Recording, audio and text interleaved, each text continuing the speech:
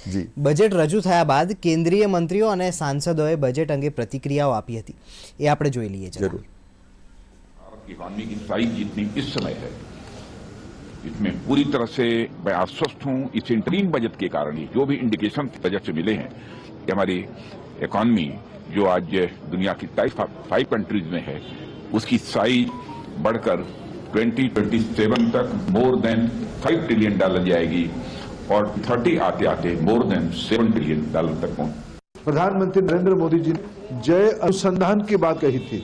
सिर्फ़ कही कहे नहीं, उसको क्रियान्वयन करने के लिए आज बजट में एक लाख करोड़ रुपया की एक कॉर्पस फंड की अनाउंस किया गया।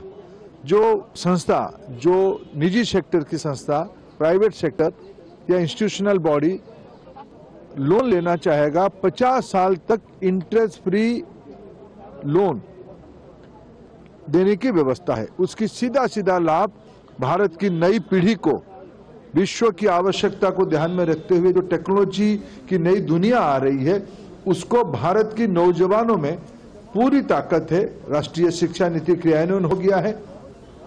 इनोवेशन एक जन आंदोलन के रूप ले रहा है और ये एक लाख करोड़ रुपया की वित्तीय व्यवस्था एक बहुत बड़ी छलांग लगाने के लिए एक लेवल प्लेइंग फ़ील्ड बना दिया गया है। मैं वित्त मंत्री निर्मला जी को और आदरणीय प्रधानमंत्री मोदी जी को बधाई देता हूँ। इतना शानदार अंतरिम बजट जो पेश किया है आज, और कोई सेक्टर छूटा नहीं है।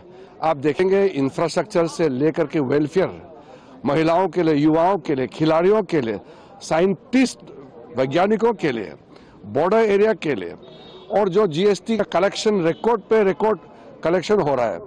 इतना बढ़िया फाइनेंशियल स्थिति देश का आज मोदी जी के नेतृत्व में पहुँचाया है कि हम दुनिया का सबसे कॉन्फिडेंट देश बन गए हैं आर्थिक व्यवस्था के मामले में भी। अंतरिम बजट में मध्यम वर्ग के लिए आवास योजना लाए जाने का निर्णय एक क्रांतिकारी कदम है। अगले पाँच साल में प्रधानमंत्री आवास योजना ग्रामीण के तहत लगभग दो करोड़ घरों घर बनाने का निर्णय लिया गया है।